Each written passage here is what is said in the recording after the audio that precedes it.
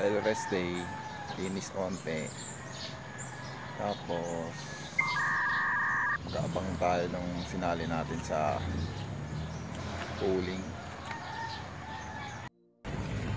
So 6.59 na po ang oras, maliit lang eh. 6.59 na po, mga ilang Segundo. segundo, i-release na po namin tong mga kalapati. Po sila mga guys. Gusto na nilang lumipad. Oh, yung mga nagkakapi dyan, napakabang na. Nakapi dyan, abang-abang na kayo. Yan po yung arko ng San Miguel, Bulacan. Sir, sabihin ka pag release sir ha, yan po pala si Don Don.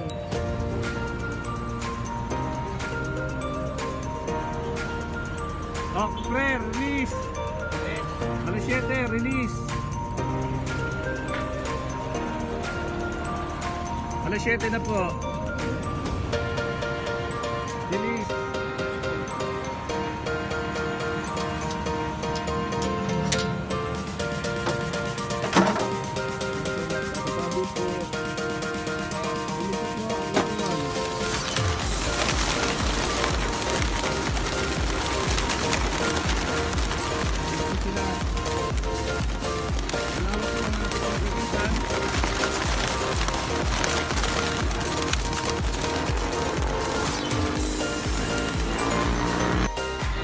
Kaka-release ng 7 o'clock